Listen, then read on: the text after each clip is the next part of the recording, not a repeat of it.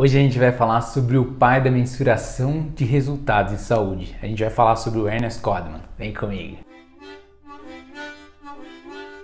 Boas gente, para todo mundo. Meu nome é Lucas Nobre, sou médico administrador. Aqui no canal a gente fala sobre medicina, sistema de saúde e impacto sobre todos os nossos pacientes. Hoje a gente vai ter a honra de falar aqui sobre um médico que é o pai da mensuração de resultados em medicina e em saúde.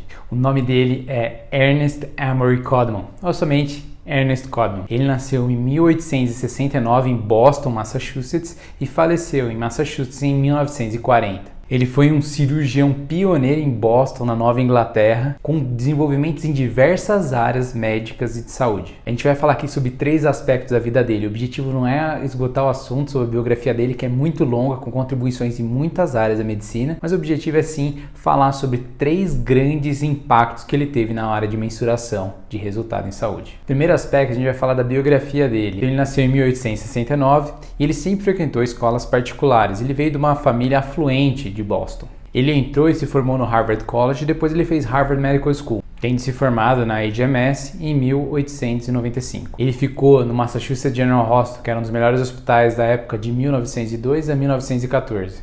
Na verdade, ele foi expulso dos círculos de cirurgiões, dos círculos de hospitais, por causa das ideias dele. A principal e mais controversa ideia dele é a ideia do resultado final, end result que é basicamente acompanhar o paciente ao longo do tempo para verificar quais foram os resultados de cada tratamento. Ele criou um sistema de registros em cartões que ele chamava de End Result Cards e basicamente ele escrevia no cartão o que, era aquele paciente, o que tinha sido feito e quais tinham sido os resultados ao longo do tempo.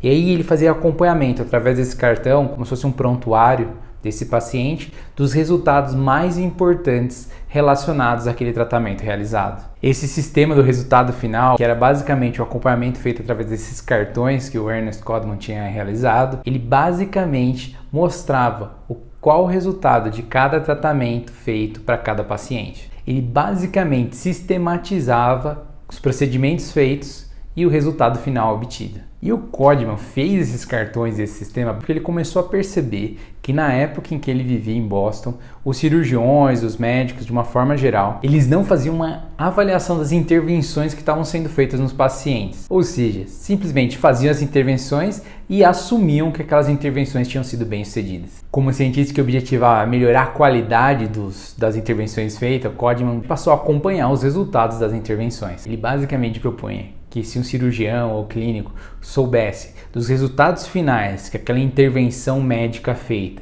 estavam tendo, ele ia aprender uma alça de feedback sobre o que fazer e o como melhorar ao longo do tempo. Ele achava que, de uma forma geral, cirurgiões, médicos tinham superestimação dos resultados dele, ou seja, achavam que os seus resultados eram sempre os melhores, mesmo não medindo os resultados. Esse sistema do End Result System que o Codman criava era uma forma objetiva de fazer o acompanhamento dos resultados dos pacientes.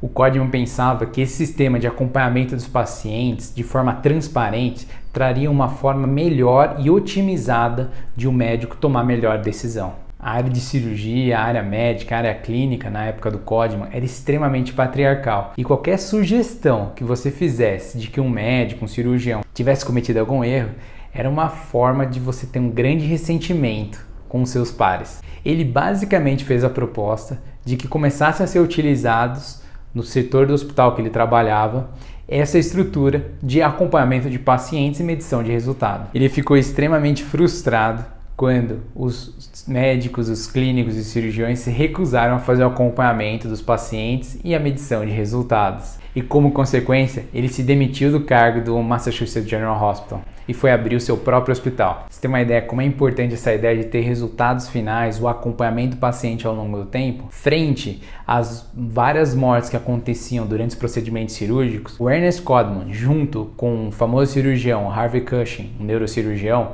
eles criaram os primeiros registros anestésicos. Eles começaram a verificar que como morriam muitos pacientes durante o ato cirúrgico, seria importante você fazer um acompanhamento detalhado durante o procedimento anestésico. Propuseram que a respiração e o pulso fosse acompanhado durante todo o procedimento cirúrgico e anotado num cartão de acompanhamento.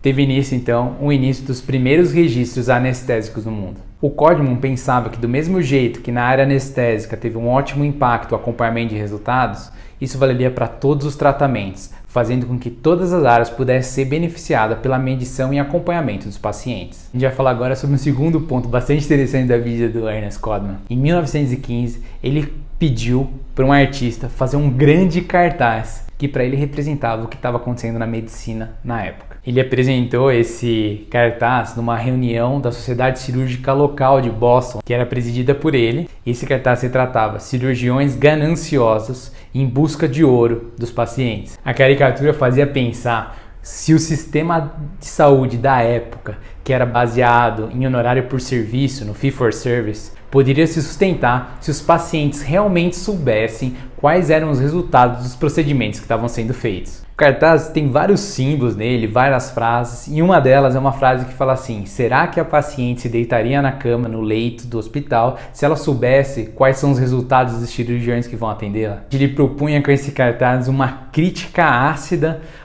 toda essa estrutura do sistema da época que se baseava em oferecer serviços que eram muitas vezes controversos ou desnecessários. Ele foi condenado ao ostracismo, ele ficou isolado depois da apresentação desse cartaz e saiu, perdeu o cargo de presidente da sociedade cirúrgica local. Mas é bastante interessante porque esse cartaz está até hoje na biblioteca da Harvard Medical School em Boston.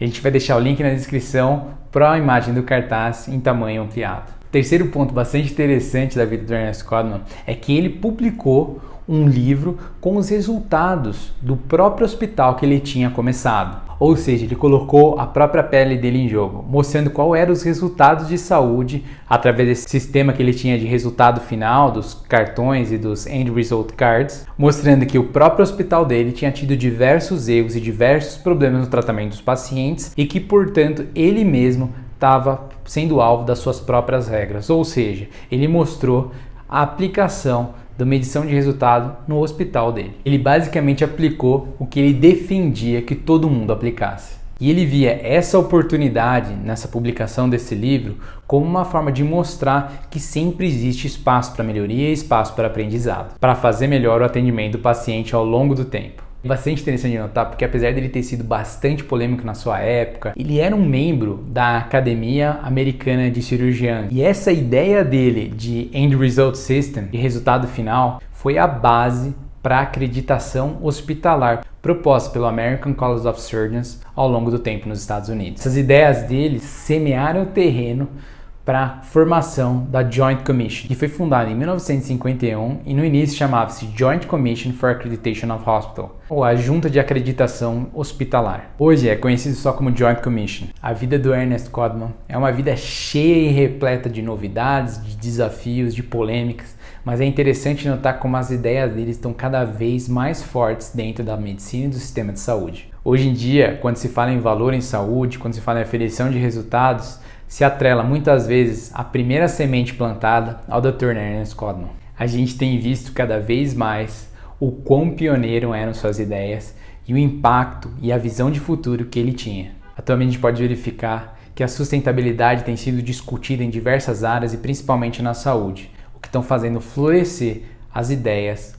publicadas há mais de 100 anos. Essa aqui é uma pequena homenagem ao Dr. Ernest Cobb. Se você gostou desse conteúdo, considere se inscrever no canal, compartilhar esse vídeo. Um grande abraço, até o próximo vídeo. Valeu! A gente vai deixar na descrição vários links com obras e publicações do Dr. Ernest Codman para todo mundo que quiser se juntar com a gente e também se tornar um Codmer. Grande abraço!